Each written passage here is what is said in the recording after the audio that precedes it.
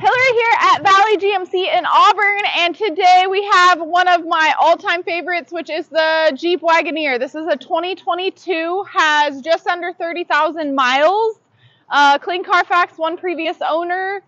Absolutely love these. It's a crazy smooth ride, full-size SUV. With the third row up, look how much space you have. It is crazy. Obviously, you can put the third row down um, for the dogs, the Costco runs. But take a look inside. This one is fully loaded with the rear seat entertainment, the bucket seats. Um, but my favorite is the panoramic sunroof. And then get this the third row gets a sunroof and a ton of space. Third rows never have space and never have sunroofs. So you can see why this is one of my favorites. And the drive is one of the smoothest I've ever driven. So love it, love it, love it. It's here.